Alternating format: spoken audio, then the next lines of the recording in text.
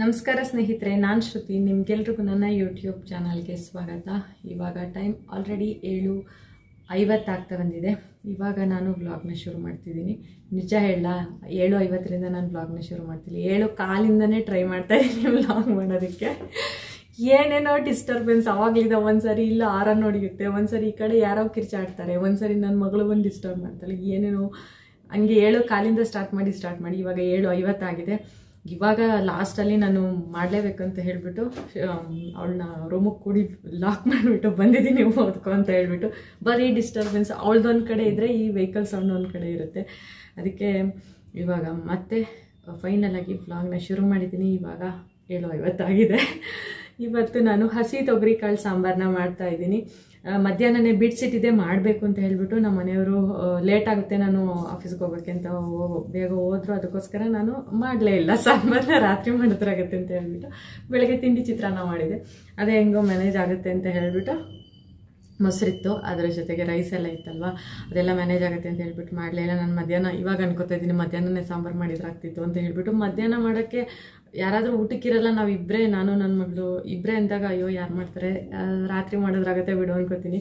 ರಾತ್ರಿ ಮಾಡೋಕ್ಕೆ ಬಂದಾಗ ಅಯ್ಯೋ ಈ ಚಳಿಗೆ ಯಾಕಪ್ಪ ಸಾಂಬಾರು ಮಾಡಬೇಕು ಇವಾಗ ನಾನು ಅಂತ ಅನಿಸ್ತಾ ಇರುತ್ತೆ. ಚಳಿ ಬೇರೆ ಅಲ್ಲ ಇವಾಗ ಒಂದು ಸ್ವಲ್ಪ ಪಾತ್ರೆ ಇದೆ ಮಧ್ಯಾಹ್ನ ಊಟ ಮಾಡಿರೋದಿದೆ. ಅವಳದು ಲಂಚ್ ಬಾಕ್ಸ್ ಎಲ್ಲ ಇದೆ, ಅದನ್ನೆಲ್ಲ ತೊಳೆದಿಲ್ಲ. ಇವಾಗ ತೊಳಿಲಿಲ್ಲ ಅಂದರೆ ಬೆಳಗ್ಗೆದ್ದು ಮತ್ತೆ ನಾನೇ ತೊಳೆದು ಪ್ಯಾಕ್ ಮಾಡಬೇಕು. ಅದಕ್ಕೋಸ್ಕರ ಇವಾಗ ತೊಳೆದು ಬಿಡ್ತೀನಿ.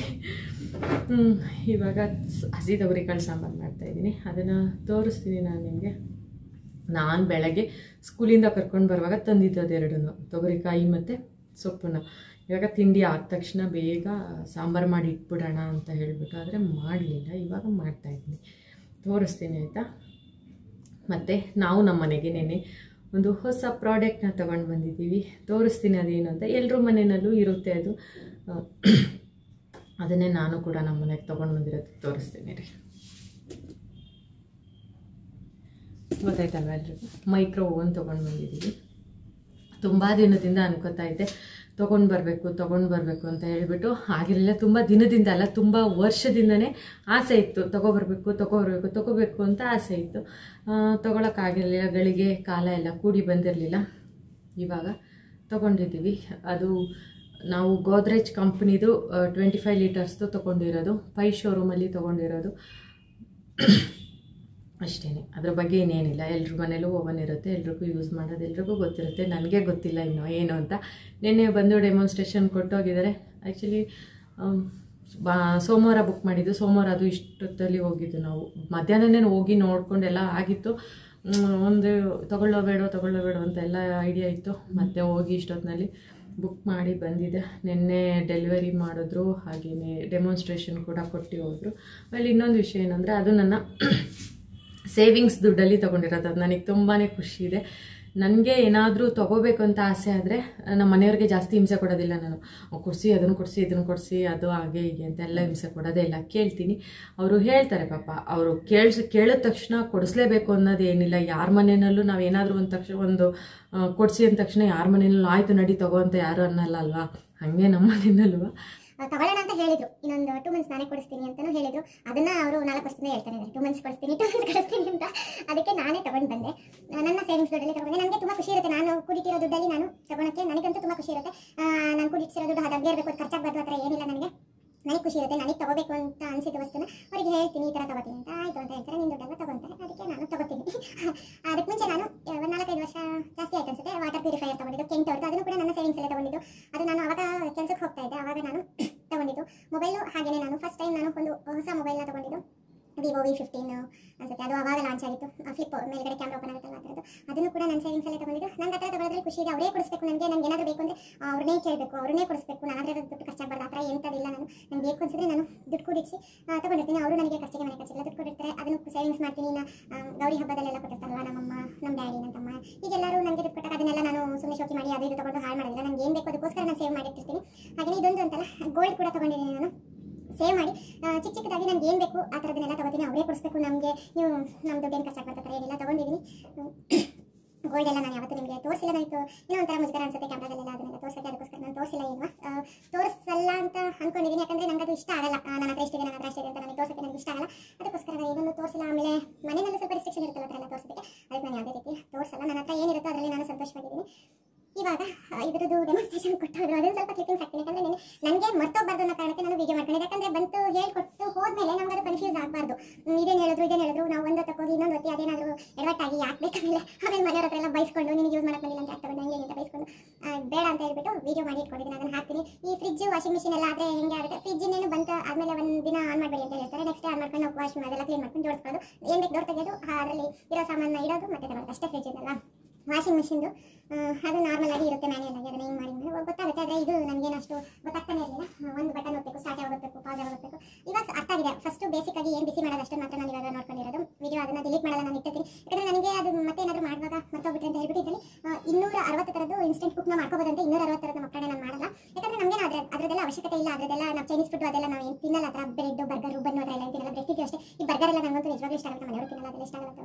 ಅವ್ರಿಗೂ ನನ್ನ ಮಗಳು ಮಾತ್ರ ಪಿಜ್ಜಾ ಬರ್ಗರು ಅವಳಿಗೆ ಇಷ್ಟ ಆಗುತ್ತೆ ನಮಗೇನು ಇಷ್ಟ ಆಗಲ್ಲ. ಅವಳು ಇಷ್ಟಪಡ್ತಾಳೆ ಅಂತ ಯಾವತ್ತೋ ಒಂದಿನ ಕೊಡಿಸ್ತೀವಿ ಅಷ್ಟೇ ಅಂತ ನಮಗೊಂದು ಇಷ್ಟ ಆಗಲ್ಲ, ನಾವು ತಿನ್ನೋದಿಲ್ಲ.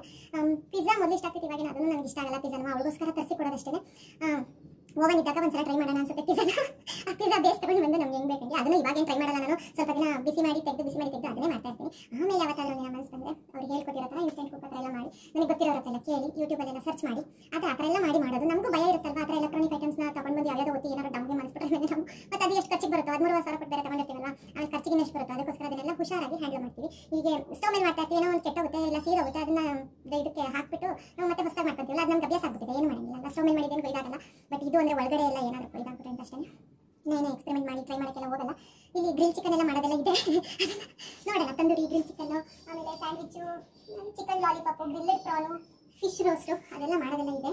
ಅದೆಲ್ಲ ನಮಗೆ ಬರದೇ ಇರೋಂತಹ ಐಟಮ್ ಅದೆಲ್ಲ. ನೋಡೋಣ ಗೊತ್ತಿರೋರು ನಮ್ಮ ಮನೆಗೆ ಬಂದರೆ ಅವ್ರೇನಾದ್ರು ಮಾಡ್ತೀನಿ ಅಂದರೆ ಮಾಡ್ಸೋಣ ಅಷ್ಟೇ ಏನಿಲ್ಲ ನಮ್ಮನೆ ಫಿಶ್ ನಮ್ಮನೆ ತರಲ್ಲ ಆಯ್ತಾ? ಯಾಕೆ ತರಲ್ಲ ಅಂದರೆ ಫಿಶ್ ಸಾಂಬಾರು ಮಾಡೋಕ್ಕಷ್ಟೇ ನನಗೆ ಬರೋದು. ಫಿಶಲ್ಲಿ ವೆರೈಟಿ ಎಲ್ಲ ಮಾಡೋಕ್ಕೆ ಬರಲ್ಲ.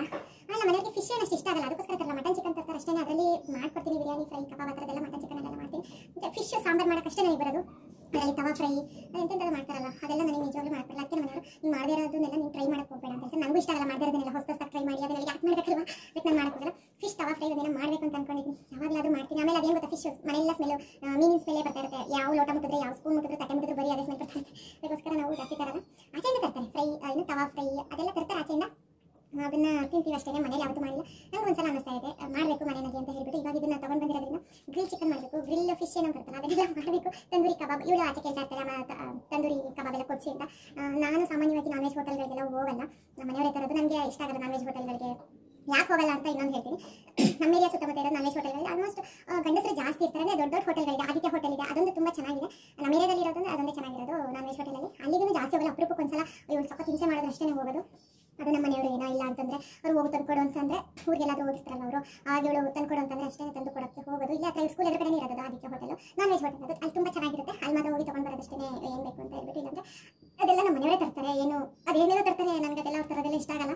ನನಗೆ ಏನು ಇಷ್ಟ ಆಗುತ್ತೆ ಬಿರಿಯಾನಿ ಫ್ರೈ ಕಬಾಬ್ ಬಿಟ್ಟರೆ ಇನ್ನೇನು ಇಷ್ಟ ಆಗಲ್ಲ. ಬಿರಿಯಾನಿ ಪೇಪರ್ ಅಲ್ಲ ಸಾರಿ ಏನು chicken pepper dry mutton paper ಅದೆಲ್ಲ ತಿಂತೀನಿ. ಅವ್ರು ಅದೆಂಥದ್ದು ಲಿವರ್ ಫ್ರೈ ಬೋಟಿ ಬೋಟಿ ಇಷ್ಟ ಆಗುತ್ತೆ. ಲಿವರ್ ಫ್ರೈ ಎಲ್ಲ ತರ್ತಾರೆ. ಅದೆಲ್ಲ ನನಗೆ ಇಷ್ಟನೇ ಆಗಲ್ಲ.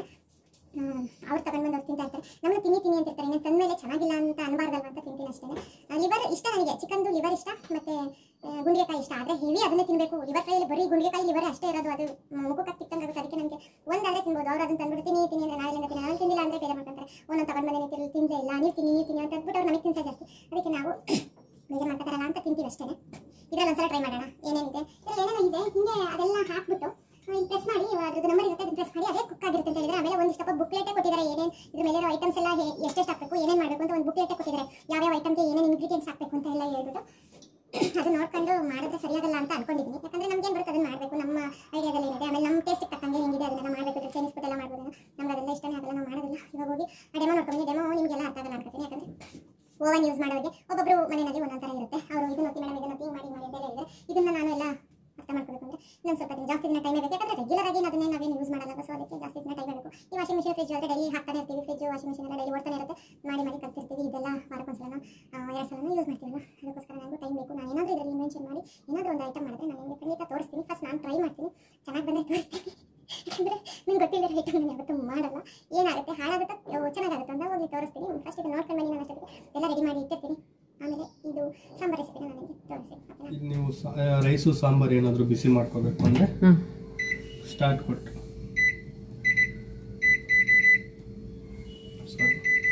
ಇಲ್ಲಿ ಎಕ್ಸ್ಪ್ರೆಸ್ ಕುಕಿಂಗ್ ಇದೆಯಲ್ಲ?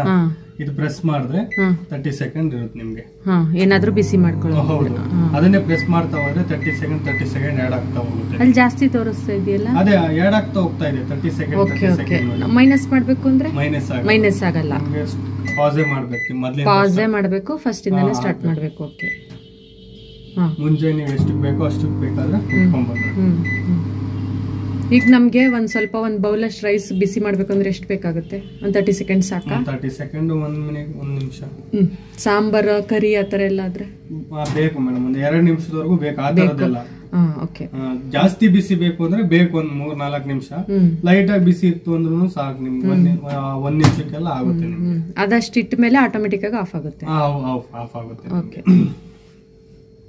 ನೀವು ಗ್ರಿಲ್ ಏನಾದ್ರು ಮಾಡ್ಕೋತೀವಿ ಚಿಕನ್ ಏನಾದ್ರು ರೋಸ್ಟ್ ಮಾಡ್ಕೋತೀವಿ ಇಲ್ಲ ಆ ಥರದಿತ್ತು ಅಂದ್ರೆ ಗ್ರಿಲ್ ಸೆಲೆಕ್ಟ್ ಮಾಡ್ತೀರಾ ಟೈಮಿಂಗ್ಸ್ ಕೊಡ್ತೀರಾ ಸ್ಟಾರ್ಟ್ ಕೊಡ್ತೀರಾ ಸೆಲೆಕ್ಟ್ ಮಾಡ್ಕೊತೀರಾ? ಎಕ್ಸಾಂಪಲ್ ತೋರ್ಸ ತೋರಿಸ್ತಾ ಇರೋದು. ಅಷ್ಟೇ ಕನ್ವೆನ್ಷನ್ ಇದು ಕನ್ವೆನ್ಷನ್ ಅಂದ್ರೆ ನಿಮ್ಗೆ ಬೇಕಿಂಗ್ ಎಲ್ಲ ಮಾಡ್ಕೋತೀವಿ ಅಂತಂದಾಗ ಅದೇ ಪಪ್ಸ್ ಕೇಕ್ಸ್ ಏನಾದ್ರು ಮಾಡ್ಕೋತೀವಿ ಅಂದ್ರೆ ಡಿಗ್ರಿ ಕೇಳುತ್ತದು ಅದು ಯಾವ ಡಿಗ್ರಿಯಲ್ಲಿ ಮಾಡ್ಕೋತೀರಾ? Normally one sixty one seventy. ಮಾಡ್ಕೊಳ್ಳಿ. ಬೇಕಿಂಗ್ ಮಾಡೋಕ್ಕಿಂತ ಮುಂಚೆ ಎರಡು ನಿಮಿಷ ಪ್ರೀ ಹೀಟ್ ಮಾಡ್ಕೋಬೇಕು ನೀವು. ಪ್ರೀ ಹೀಟ್ ಹೌದು. ಬೇಕಿಂಗ್ ಮಾಡೋಕ್ ಮುಂಚೆ ಬೇಕಿಂಗ್ ಮಾತ್ರ ಸೇಮ್ ಸೆಲೆಕ್ಟ್ ಮಾಡ್ಕೋತೀರಾ? ಯಾವ ಡಿಗ್ರಿ ಇಲ್ಲ ಅಂದ್ರೆ ಅದೇ. ಒನ್ ಸೆವೆಂಟಿಗೆ ಇಟ್ಕೋತೀರಾ ಹದಿನೈದರಿಂದ ಇಪ್ಪತ್ತು ನಿಮಿಷ ಟೈಮಿಂಗ್ಸ್ ಕೊಟ್ಟು ಸ್ಟಾರ್ಟ್ ಕೊಡ್ತೀರಾ? ನಿಮಗೆ ಬೇಕಿಂಗ್ ಆಗುತ್ತೆ. ಸರಿನಾ?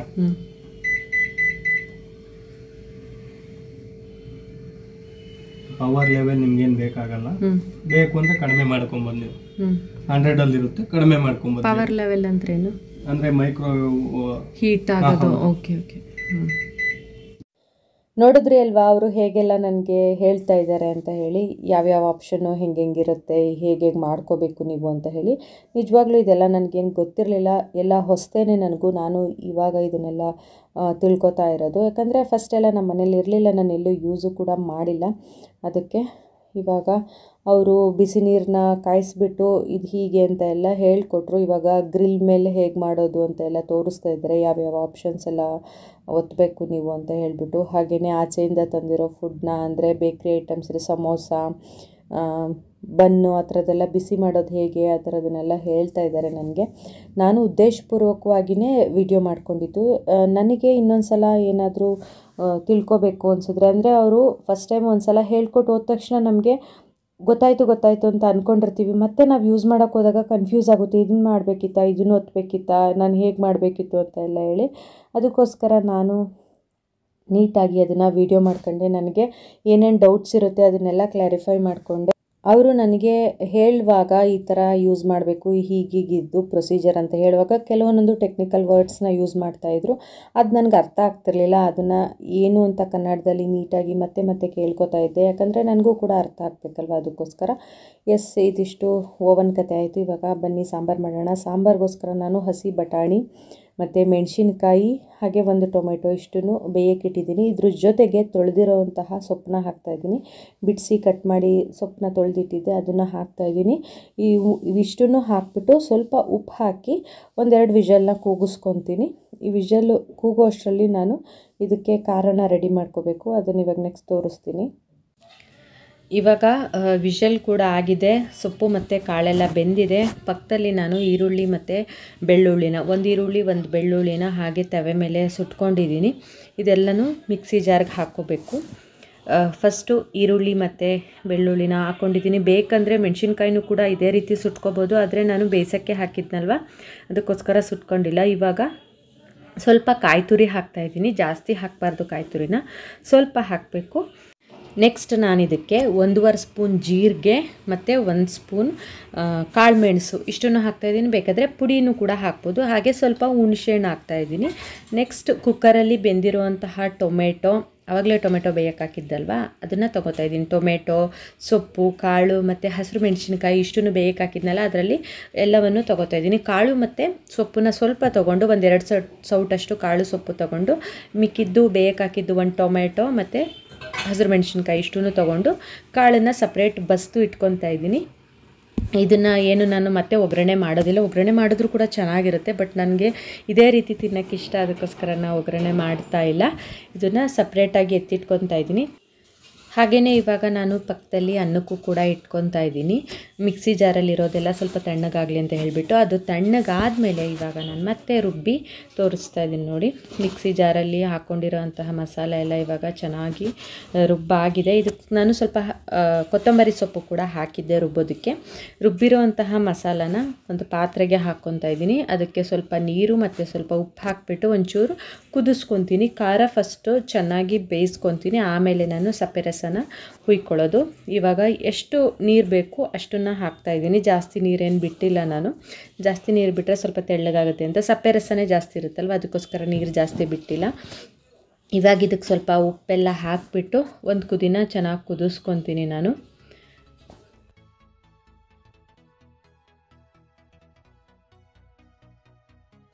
ಮುಚ್ಚಳ ಮುಚ್ಚಿ ನಾನು ಕುದಿಸ್ಕೊತಾ ಇದ್ದೀನಿ. ಒಂದೊಂದು ಸಲ ಉಕ್ಕು ಬಿಡುತ್ತೆ. ಉಕ್ಕೋದನ್ನು ನೀಟಾಗಿ ನೋಡ್ಕೋಬೇಕು. ಉಕ್ಕಿದ್ರೆ ಸಾಂಬಾರು ಟೇಸ್ಟ್ ಹೋಯ್ತು ಅಂತಲೇ ಉಕ್ಕಿದ್ರೆ ಚೆನ್ನಾಗಿರಲ್ಲ ಅಷ್ಟು ಸಾಂಬಾರು. ಮೇಲ್ಗಡೆ ಈ ನೊರೆ ಏನು ತೋರಿಸ್ತಾ ಇದ್ದೀನಿ. ಅದಿದ್ರೇ ಟೇಸ್ಟ್ ಚೆನ್ನಾಗಿರೋದು. ಅದಕ್ಕೆ ಸಾಂಬಾರು ಮಾಡುವಾಗ ನಾವು ಯಾವತ್ತೂ ಉಕ್ಕಿಸ್ಬಾರ್ದು. ಅದ್ರ ಟೇಸ್ಟ್ ಎಲ್ಲ ಹೋಗಿಬಿಡುತ್ತೆ.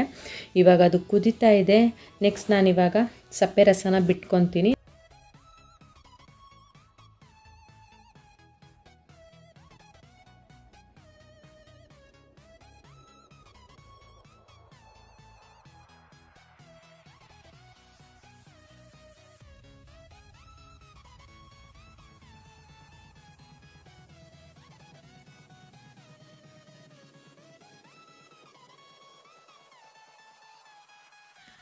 ಸಪ್ಪೆ ರಸ ಬಿಟ್ಟಾದ್ಮೇಲೂ ಕೂಡ ಸಾಂಬಾರನ್ನ ಚೆನ್ನಾಗಿ ಕುದಿಸ್ಬೇಕು. ನಾವು ಸಾಂಬಾರನ್ನ ಚೆನ್ನಾಗಿ ಕುದಿಸಿದಷ್ಟು ಟೇಸ್ಟ್ ಚೆನ್ನಾಗಿರುತ್ತೆ. ಆದರೆ ಯಾವುದೇ ಕಾರಣಕ್ಕೂ ಉಕ್ಕಿಸ್ಬಾರ್ದು ನೋಡಿ, ಇವಾಗ ಸಾಂಬಾರು ಕೂಡ ಚೆನ್ನಾಗಿ ಬೆಂದಿದೆ. ಉಪ್ಪು, ಖಾರ ಎಲ್ಲ ಕರೆಕ್ಟಾಗಿದೆ ಇದನ್ನು ಹಸಿ ಖಾರದ ಸಾಂಬಾರು ಥರನೂ ಕೂಡ ಮಾಡ್ಬೋದು. ಅದನ್ನು ನಾನು ಮಾಡಿರಲಿಲ್ಲ.